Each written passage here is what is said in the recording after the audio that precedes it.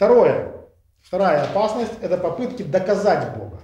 То есть первое было это защитить Бога, теперь это доказать Бога. Мы говорим, что апологетики ничего доказать не может. Мы только разрушаем твердыни. А вот эта вот попытка доказать Бога, она уже идет из, предо, из э, как, предубеждения гуманистического, что исключительно рациональные утверждения дают обоснованные знания. Что если ты что-то не можешь доказать рационально, значит это неправда. Но мы говорили, нельзя рационально доказать любовь, нельзя рационально доказать смысл жизни, нельзя рационально доказать предназначение.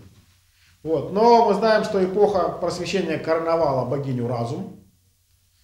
И люди теперь э, автоматически считают, что рациональность выше критерия истинности. В том числе по отношению как к нашему опыту, так и по Божьему откровению. Но мы-то с вами знаем, что это неправда. А утверждение, что рациональное обоснование заменяет веру, это вера. Потому что само это утверждение рационально не обосновано. Я верю, что мне не нужна вера. Вот. И как мы говорили, само, само утверждение, что только рационально доказанные утверждения истины, оно рационально не доказано, и таким образом само себя побивает. Наша цель, задача приводить аргументы соответственно мироздания Божьему откровению. Э, возьмем любой псалом, любой псалом это апологетика. Вот 35-й псалом, где вообще никак не доказывается Библия вообще нигде не доказывает, что Бог есть. Библия начинает говорить с предположения, с э, изначального положения о том, что Бог творит небо и землю. Не, доказательств нигде этому не приводится. Библия Бога не доказывает. Писание говорит, мудростью устрояется дом и разумом утверждается. Притча 24.3. И в 1 Коринфянам 14, 20 Павел пишет, братья, не будьте, э, де, э, не будьте дети умом, на злое будьте младенцы, а по уму будьте совершеннолетние. То есть будьте как дети, на злое будьте как дети. По уму будьте совершеннолетние. Еще раз, апологетика это не доказательство Бога, а опять же зеркало, в котором человек должен видеть свои заблуждения. В данном случае рациональное. Он хочет рационально убедиться, что Бог есть. Покажите ему его заблуждение. Во-первых, выясните его ожидания. Как ты хочешь, понимаете, а, как один ученый писал, а? Это записано. Не совсем. Вот, как один ученый сказал, что вы знаете, вы, я прав, правильно я вас понял, вы не верите в Бога, который, значит, э, смотрит со стороны равнодушия на страдания людей, которому не жалко собственного сына, которого, значит, да, да, да, да, да, правда, что в этого Бога не верите? Правда. Мы тогда с вами полностью согласны. В такого Бога я тоже не верю. Вот. То есть, э, в какого Бога вы, в какого Бога вы поверили бы? Вот, выясните ожидания оппонента. Следующее. А, разберите вместе с ним, может ли голый разум удовлетворить эти ожидания. Я хочу, чтобы Бог меня любил. Голый разум это может как-то... Я хочу, чтобы Бог был справедлив. Голый разум может как-то определить, что справедливо, что несправедливо. Далее предоставьте веские свидетельства.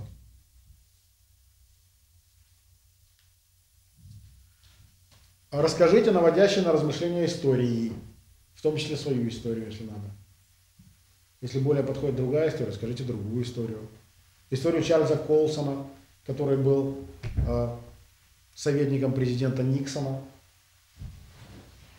И когда один из его друзей принял христианство, он решил разгромить, не оставить камня на камне. Его идеи, ну, у него был как раз отпуск, и он поехал куда-то в уединенную свою избушку на озеро, взял с собой Библию и взял с собой тетрадку, толстую блокнот, который каждую сторону разделил на две части. В одну сторону он хотел записывать э, значит, аргументы в пользу христианства, в другую, он юрист, как юрист, взять и рассудить, а в другую аргументы против. Говорит, по окончанию моего отпуска сторона за была полностью заполнена, а сторона против оставалась чистой. И как юрист я на тот момент уже должен был признать, что это действительно правда. Но правда, для того, чтобы принять эту правду, ему еще понадобилось попасть за решетку. И там в тюрьме он принимает Бога и создает тюремное братство, которое до сих пор одна из самых активных в Америке миссий, э, э, заключенном. Э, в библиотеке наверняка у вас должны быть книги Чарльза Колсона «Рожденный заново», «Любить Бога», вот, с его свидетельствами. И тогда же Чарльз Колсон говорит, понимаете, когда разгорелся Уотеркейский скандал, но мы же все умные люди, мы все знали правильные ответы, что нужно отвечать, чтобы никто не мог придраться. И мы собрались, и мы договорились, что мы будем отвечать на всякие вопросы. Вот. Но как только стали дергать кого-то лично, как только стало значит, угрожать лично чьей-то семье, благосостоянию, все начали тут же валить друг друга. Говорит, у нас было 12 человек, это были сливки общества, самых образованных людей в своей стране, советники президента.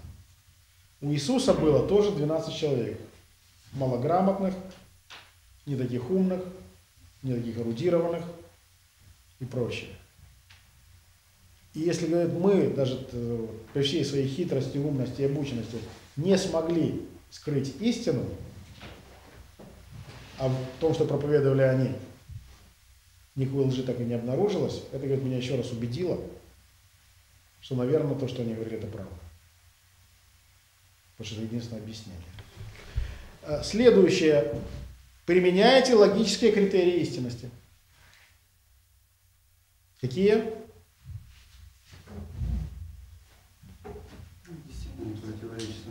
Которые мы говорили.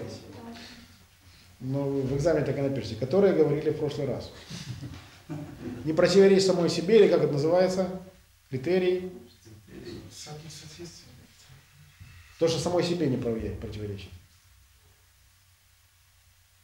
Ну, мы понимаем, что это не должно внутри себя Критерий состоятельности. То есть она состоят, не противоречит сама себе, значит она состоятельна. Второй критерий соответствия, это значит что? С другими соответственно. Она не противоречит остальным истинам известным. И кое еще критерий мы с вами? Окружающим миром, И прагматический. Прагматический критерий выражается словами «иди и смотри». В Библии он встречается неоднократно. Мы нашли того, о ком писали пророки. А, разве из Галилеи может быть что хорошее? Пойди посмотри. Ангел вострубил и сказал, иди и смотри. Вот это выражение «пойди и посмотри», «иди и смотри» в Библии неоднократно встречается, это прагматический критерий истинности. А, Давид умер и погребен, и гроб у нас до сегодня, пойдите посмотрите. А, молитесь об освобождении. Мы помним, что э, в любом случае обращение это не наша работа. Это работа Святого Духа. И потом нам нужно молиться, чтобы человек освободился от тех, от тех твердынь, которые не позволяют принять ему Христа. Поддержите ТВС молитвой и финансами. Не рассчитывайте, что пожертвует кто-то другой. Так думают многие, и хорошие проекты перестают существовать. Информацию, о чем молиться и как пожертвовать, вы можете найти на сайте www.tvseminary.com. Следующая ошибка, которую часто допускаю. Неразумно, зато полезно.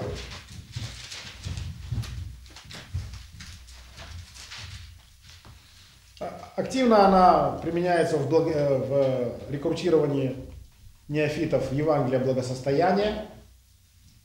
Вот смотри, будешь как со Христом, будет у тебя машина как у меня. И все проблемы решатся. Да, все проблемы сразу решатся, какие бы то ни было проблемы. Вот неразумно, зато полезно. Наверняка у вас есть э, очень хорошая книжка в библиотеке Клайв Льюис «Письма Баламута». Есть. Ну уж точно у вас есть восьмитомник Клайва Льюиса там. И в, э, в письмах Баламута, а, значит, Баламут, старший бес-искуситель, дает инструкции своему, значит, племянничку, Гнусику, о том, как лучше э, человека, значит, соблазнять. И уже в самом первом письме а, он говорит, молодой, мой дорогой гнусик, самоуверенная тарабарщина, а не аргументы поможет тебе удержать пациента вдали от церкви. Не трать время на то, чтобы убедить его в истинности материализма. Лучше внуши ему, что материализм силен и смел, что, и что это философия будущего. То есть не принципиально. То есть давай не будем спорить, правда это или неправда. Доказать никто не может. Главное, что это учение сильное, смелое и за ним будущее. К сожалению, сегодня мы, верующие, очень часто пытаемся это же самое, этот аргумент э, применять в своем благовестии. Мы говорим, что это не, не столь важно, правда христианство или нет. Давайте не будем разбирать, истинно оно или нет, но, но это учение сильное, смелое, 2000 лет стоявшее, и за ним будущее. Христианство заблуждение, но оно делает людей лучше. На самом деле, сегодня мы можем почитать, э, послушать там, предвыборные программы коммунистов, атеистов, что вот у, у меня в предвыбор, я в Бога не верю, я коммунист, я атеист, но у меня в предвыборной компа- программе моей, что мы должны развивать духовность, мы должны изучать Библию, потому что она делает людей лучше. То есть, обратите то есть я признаю, что Библия это глупость, что Библия это ложь. Но я признаю, что она делает людей лучше. Ложь, ложное учение делает людей лучше, и поэтому даже я считаю, что эту ложь надо преподавать. То есть, сама идея, что я за то, чтобы преподавать ложь. Уже интересно. Вот. С другой стороны, то есть я признаю, что ложное учение делает людей лучше, а мое учение истинное делает их хуже. Мое учение истинное, но люди от него хуже становятся. Так может какая-то проблема с понятием истина и ложь? Может пора разобраться, что как может лжи становиться лучше, а от истины становиться хуже. Вот. Христианство не, не потому приемлемо, что оно полезно. Христианство полезно, потому что оно истинно.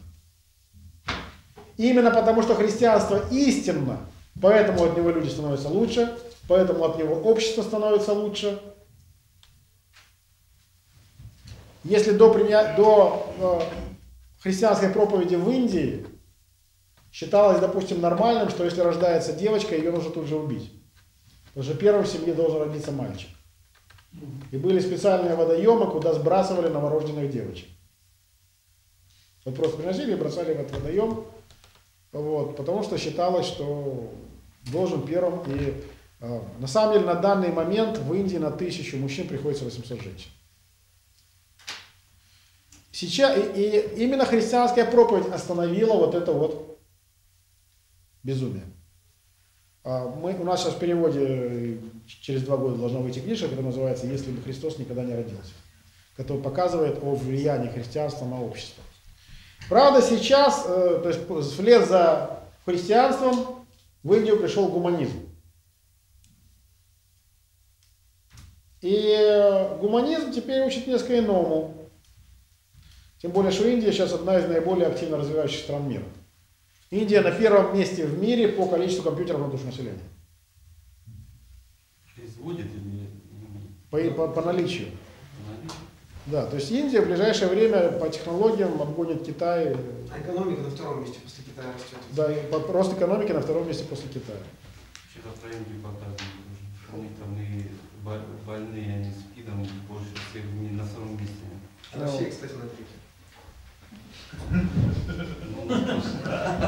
Нам тоже есть чем гордиться. Россия на втором месте в мире по подростковому суициду.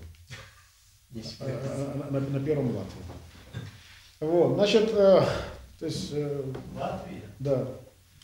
Очень мы мало, понимаете, это все... А? Да. Что такое суицид? Это кризис ценностей.